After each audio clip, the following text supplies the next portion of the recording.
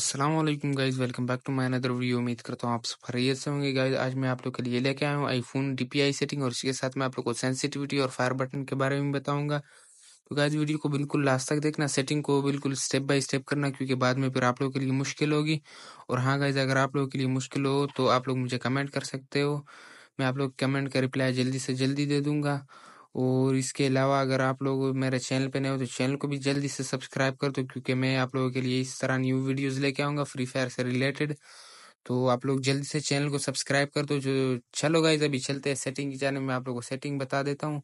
और हाँ गाइज़ मैं आप लोग को ये भी कंफर्म करवा दूँ कि इसमें 95 परसेंट तक का हेडशॉट लगेगा, जबकि फाइव परसेंट बॉडी या रिकॉयल करेगा। तो इसके लिए जो है ना, आप लोगों ने थोड़ा सा प्रैक्टिस करना है। तो चलो गाइज़ अभी चलते हैं फ़ोन की सेटिंग पे।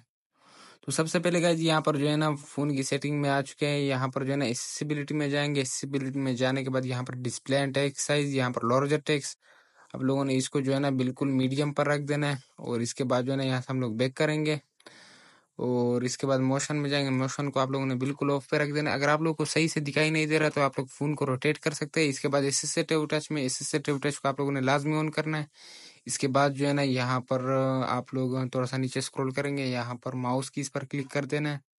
और यहाँ पर माउस की इस पर क्लिक करने के बाद यहाँ पर जो है ना, तीन ऑप्शन को ऑन कर देना है। पहले इंटिलिटल डीले को फ़र्स्ट वाले ऑप्शन पे रखना है, दूसरे वाले को, तीसरे वाले ऑप्शन पे रखना है, तीसरे पॉइंट पे। और इसके बाद ट्रैकिंग सेंसिटिविटी को आप लोगों ने थर्टी परसेंट पर रख देना है, थर्टी नहीं, फोर्टी परसेंट पे। और मूवमेंट को जो है ना, आप लोगों ने फिफ्टी परसेंट पर रख देना है। और यहाँ से हम लोग बैक करेंगे, इसके बाद जो है ना, सेकंड्स को ज़ीरो पॉइंट ट्वेंटी फाइव पर रख देना है। और यहाँ से भी हम लोग बैक करते हैं। इसके बाद जो है ना यहाँ पर हैप्टिक टच यहाँ पर थ्री को जो है ना आप लोगों ने फ्री पे और फास्ट पे रखना है। इसके बाद टच रिकमेंडेशन में जाते हैं। होल्ड ड्यूरेशन को जो है ना आप लोगों ने ज़ीरो पॉइंट फिफ्टीन पे रखना है ऑन करके।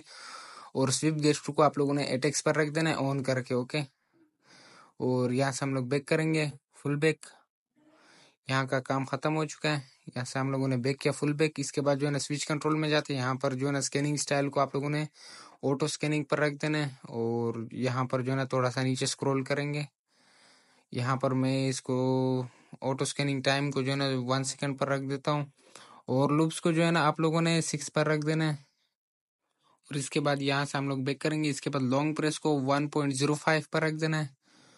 और यहाँ से हम लोग बैक करेंगे। इसके बाद जो है ना यहाँ पर मैं आप लोगों को दोबारा से दिखा देता हूँ। इसको वन पॉइंट ज़ीरो फाइव पर रख देना है। One second, okay. इसके बाद जो है ना, टेप बिहेवियर को आप लोगों ने डिफीट पर रख देना है और फोकस्ड आइटम, आफ्टर टेप को फास्ट आइटम पे।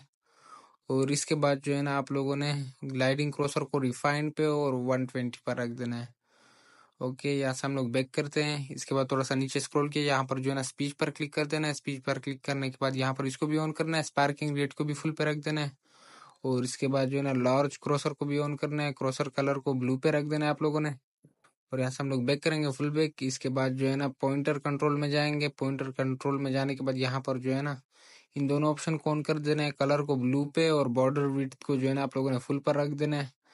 और इसके बाद जो है ना पॉइंटर साइज़ स्क्रोलिंग स्पीड दोनों को फुल पे रख देना है आप लोगों ने। इसके बाद जो है ना थोड़ा सा नीचे स्क्रॉल किया, यहाँ पर पर ऐप सेटिंग इसको ऐड कर देना है फ्री फायर को और लार्जर टेक्स को जो है ना, आप लोगों ने बिल्कुल लो कर देना है ज़ीरो पर रख देना है और नीचे स्क्रॉल करेंगे, यहाँ पर रिड्यूस मोशन को आप लोगों ने डिफीट पर रख देना है और यहाँ से हम लोग बैक करेंगे। तो गाइज़ इसके बाद जो है ना, यहाँ पर हम हमारा काम खत्म हो चुका है, इसके बाद यहाँ पर हम लोग गेम में जाएँगे गेम की सेटिंग में।